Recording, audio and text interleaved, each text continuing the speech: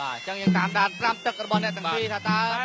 អ្នកណាជាអ្នកចាចាស់ស់លោកលើលេកនទីអឺ4យើងហើយចាប់អារម្មណ៍នៅសៃវាសុខៃសុខៃបាទសុខៃបាទមានស្មើវាយខ្សែគាត់មានស្មើទេមានស្មើតែថែមអង្គវាយទៀតបាទ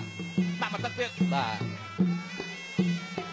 អឺគេអឺចង់ឲ្យបានភាពសម្រិទ្ធ បាទអត់មែនទេបាទឥឡូវយើងតាមដានមើលកម្មវិធីនាំមកជួយលោកអ្នកដោយអ្នកឧបត្ថម្ភផ្ដាច់មុខគឺ ISI Palm ជាប់ធនជានិរន្តរ៍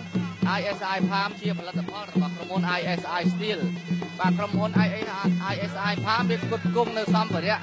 បាទដែកគ្រប់ប្រភេទបាទមិនថាដែកតូចដែកធំដែកកមុំដែកកំឡោះបាទបាទបាទនិយាយលេងនេះដែកតូចដែកធំដែកជ្រុងដែកមូលបាទគឺថា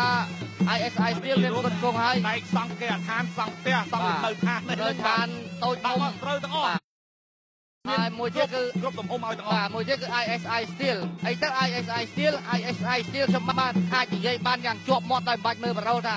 ISI Steel គឺជាផលិតផលស័ង្កសីពណ៌ជាប់បាទដែលផលិតពីបច្ចេកវិទ្យាពីរគឺជប៉ុនអូស្ត្រាលីដែលជាស័ង្កសីមួយប្រភេទដែលធានាជូនប្រិមិត្តទើបជាវកិត្តិយសទាំងអស់ឲ្យបានជឿថា10ឆ្នាំក្នុងការច្រេះនិងធ្លុះធ្លាយ បាទព្រោះគាត់មានពាសទៅដល់អនុយបញ្ញាក្រាស់ការពារការរំលាយ UV បានយ៉ាងល្អហើយក៏ពាសដោយទឹកឆ្នាំពណ៌ជាប់លេខ1ថែមទៀតផងបាទ10ឆ្នាំបាទមកល្មមការហើយកូន3មិនទាន់ជ្រេះខ្លួនបាទអូបាទអត់ងាយទេបាទអឺសម្រាប់ការប្រកួតទូនេះវិញលោកលេងសេរីលោកហេងសេរីបាទខ្ញុំចត្រាកុំបដោគៀកជាមួយនាវាងច័ន្ទឲ្យសោះបាទកុំបដោអោបបើងជង្គង់ឲ្យសោះជង្គង់មួយមកបាំងចាំទៅមិនសូវស្រួលទេបាទអេសុំទៅសើគាត់ថាគាត់ជង្គង់ល្អប៉ុណ្្នឹងឯងប៉ះជាមួយជាសំនៀងមានណាអឹកអត់ជាសំនៀងវិញជាជាសំនៀងគាត់ លះជាងបាទហើយយើងចាស់ដូចគ្នាទេបាទអ្នកទាំងពីរនេះសម្រាប់ទាំងគុនថៃគុនខ្មែរយើងអាចនិយាយថាម្នាក់នៅកំឡោះម្នាក់មានប្រពន្ធមានកូនហើយបាទអញ្ចឹងបើយើងទាញមកចាញ់កម្លាំងចុងក្រោយជាសំនៀង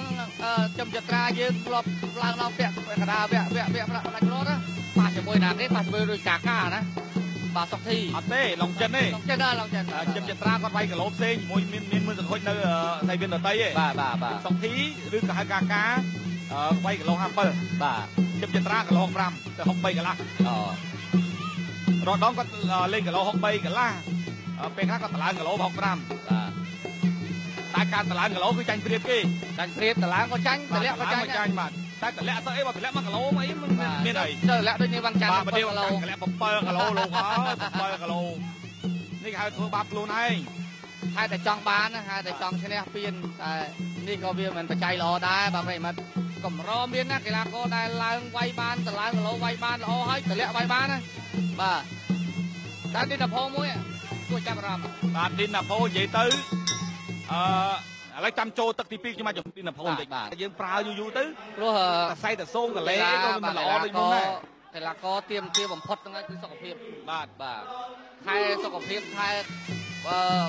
កាយសម្បទាខ្លួនឯងឲ្យល្អគ្រប់គ្រាន់អត់ខ្វះទេលុយហូរចូលរហូតតែតែយើងភ្លើតលឿនអស់ផ្លែតគឺចប់ហើយបាទ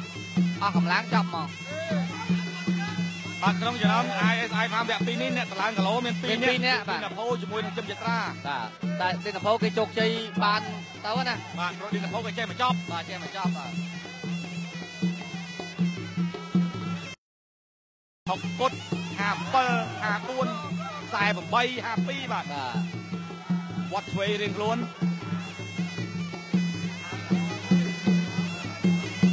ចាក់ខាងក្រៅមួយរបស់នាវាងច័ន្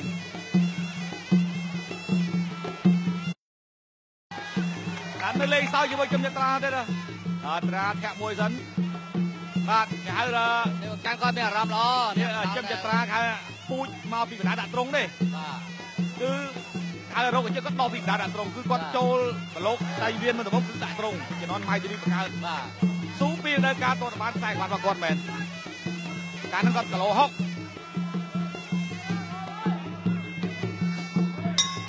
បាទចាប់ទឹកទី2 ផលិតផលរបស់ក្រុមហ៊ុន ISI Steel បាទ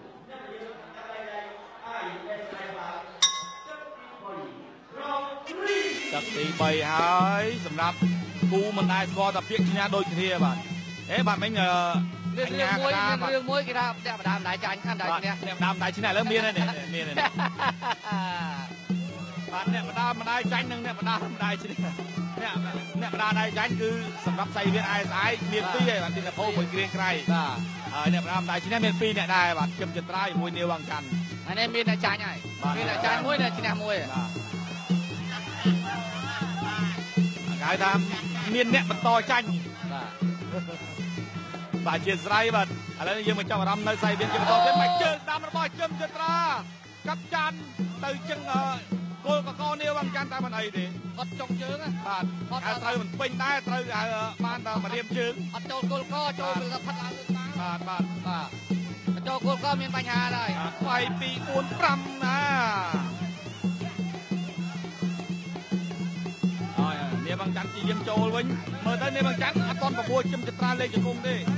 ចាំឲ្យចិត្តត្រាអស់តិចសិនណាបាទអស់តិចសិនព្រោះដឹងថាចិត្តត្រាកម្លាំងល្អបានក្រុម13ទឹក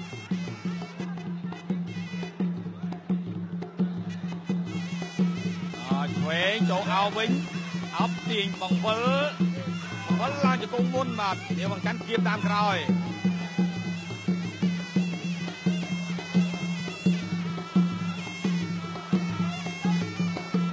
បាទនាងវងច័ន្ទការគាត់ឡើងកូនខ្លាំងពីនន់សេរីជាមួយមឿនសុខូចចូ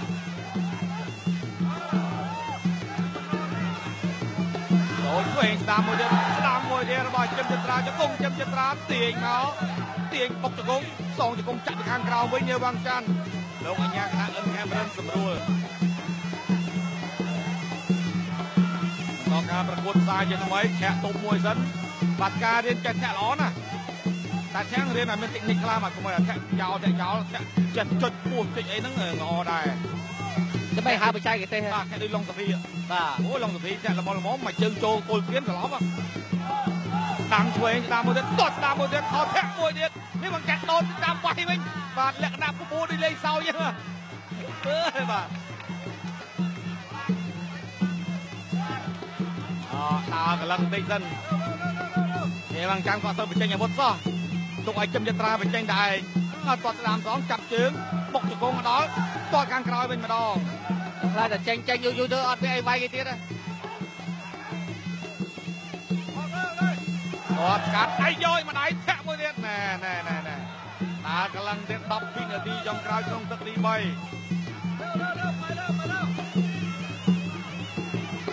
ែងស្ដាំបាំងច័ន្ទថយផុតនេះបាំងច័ន្ទចូលវិញចប់ទឹកទី3ការហាត់មិនគ្រប់គ្រាន់ក៏មិនសូវហ៊ានបញ្ចេញអាវុធប្រដេប្រដាដែរបាទហើយសុំមករស់សិនបាទនេះបាំងច័ន្ទមិននិយាយនៅស្រុកសរិនណាអឺគីឡូស្រាឆ្នាំដែរ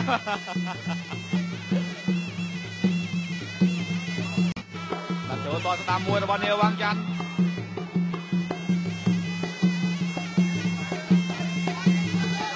អូយមកជើងទៀតហើយបាទលើកនេះត្រូវមុខតែក៏មិនអីក៏មិនអីដល់ចូលវិញចាំគេវាយត្រូវវិញអីហ៎បាទខ្លាចខ្លាចហ្នឹងមុខនាវងច័ន្ទមិននិយាយទៅមិនក្រោម40ធ្នេ50ធ្នេទេបាទព្រោះណាកាយសុខូចមួយចង់40ធ្នេតែឯងមកហើយ មានណាអាចមានណាបាទតែអត់មានច្រើនជាងអត់បាទតែត្រឡប់លើខុសពេលណាខុសឆ្វេងចូលអោបចូលអប់បែកដួលខុសបិទមុខនាវវងច័ន្ទជាយាមដេញតាមប្រុងដង្ហើមដែរតែគេស្ទាក់ស្ទើរមិនដឹងតែចេញបាច់មួយណាព្រោះតែជឹមយត្រាក៏គាត់រងលើរងក្រោមអញ្ចឹងធ្វើឲ្យនាវវងច័ន្ទអត់ទៅវាយពោះឆ្វេងមួយទៀត បែកជង្គង់រួចអប់ពេញអប់បាទប្រុងនឹងមុខជង្គង់តែក្បាលនឹងចេញក្រៅសៃវៀនតែលៀនចេញក្រៅសៃវៀនឬក៏តោងសៃវៀនលោកអញ្ញាកណ្ដាលគាត់ស្រួលហើយគាត់ស្ដាំមកទៀតមកជើងដដែលបាទចកឆក់ម្ដាយបុកជង្គង់នាងវងច័ន្ទឡើងជង្គង់ឆ្វេងជង្គង់ស្ដាំជង្គង់ស្ដាំអុកស្រួយស្រួយណាស់តែម្លាក់លេម្នាក់លេជង្គង់គួរឲ្យញញើតជាងគេគឺឌីណាផូអត់អុកជង្គង់ដល់ថ្នាក់ជាជំនាញសុំតសើឆ្វេងស្ដាំមកទៀតជឹមចិត្តណាចប់ទឹកទី4កី ឡាករមួយរូបដែលមានកម្រិតវប្បធម៌គួរសមបាទហើយនៅក្មេងដែរទេបាទចរិតក្រឹកពីខាងក្រៅក៏ក៏គួរឲ្យរាប់អានដែរបាទគាត់មានសិលធម៌ជីវជីវធម៌ល្អណាស់បាទ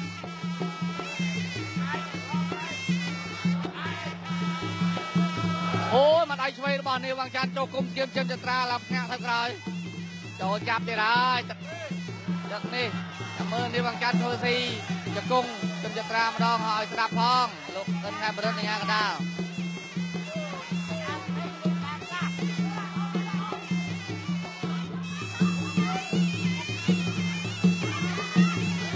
បកម្នាក់ម្ដាយចូលពេញទីមុខរៀងខ្លួនឆ្វេងដូចគ្នាស្ដាំប៉ះស្ដាំ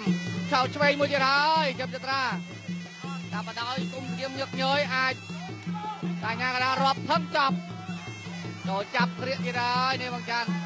លះណាអាចចូលចាប់ថោក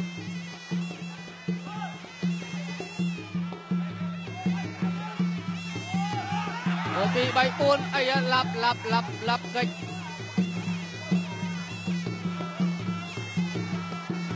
នេះបងចាន់ថ្ងៃនេះបាទគួតសบายជាងរាល់ដងបាទ3ប្រកួតកន្លងមកយើងសบายជាងរាល់ដងព្រោះអត់មានភាពហៅថាអឺសម្ពាធទេបាទ ព្រោះរាល់ដងសម្ពាធចង់ឈ្នះដើម្បីតទៅវគ្គបន្តឥឡូវនេះ3ប្រកួតស្មើនេះគឺបាទបើបានពេញ5ទឹកមែនណាចំចិត្តប្រាស្គររួចចិត្តបាន5ទឹកហើយបាទអឺឈ្នះហើយក្នុងចំនួន4ដងប្រកួតពី5ទឹកររដងបាទគាត់អាចប្រកួតចាប់ចង់ចដើមទេ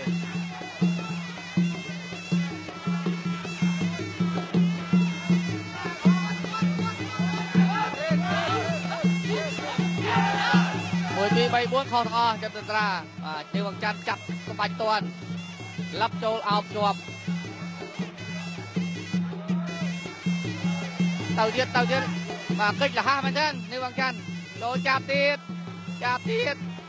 គ្រាកបោះចោលតោកចោលឡាបាទអស់ហើយអស់ហើយអស់ចត្រាអស់ហើយអស់ហើយបាទនៅតែចិត្តទេទេ បាទសុំសរសើរតកោឡៅអឺទាំងឡាយចន្ទ្រាទាំងឡាយចត្រាដដើមពៀនប្រាក់លៀនបាទបានទាំងពីរថ្ងៃតែមួយបាទមិនមែនថ្ងៃតែអឺមួយសប្តាហ៍តែមួយសប្តាហ៍តែមួយគាត់ឈ្នះដូចគ្នាតែចន្ទ្រាគាត់មិនទៅវាទេប្រាប្រាក់លៀនបាទតែចង់និយាយថាចន្ទ្រាក៏ទ្របឈ្នះប្រាក់លៀននៅស្អីមានកោចូលដែរបាទព្យាយាមធាក់ថយមួយសិន តែបើថាទឹកតែមួយគឺតកោឡៅឈ្នះដូចគ្នាច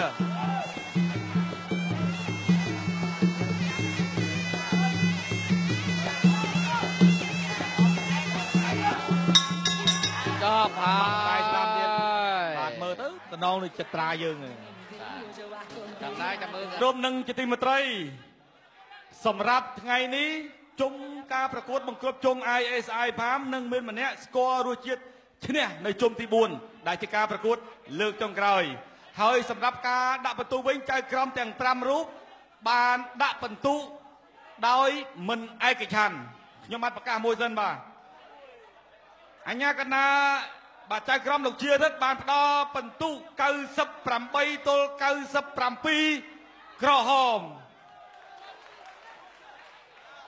ចៅក្រមលោកសិនប៊ុនធឿនចៅក្រមលោកហងម៉ាខែម ចៅក្រមលោកវ៉ាន់ឌីបាទនឹងចៅក្រមលោកអេបថងបានផ្ដល់បន្ទូ4បាទ4រូបនឹងបានផ្ដល់បន្ទូឲ្យបង្គោលខៀវដូច្នេះជ័យជំនះមិនឯកច្ឆន្ទបានមកកាន់បង្គោលខៀវ New Lanka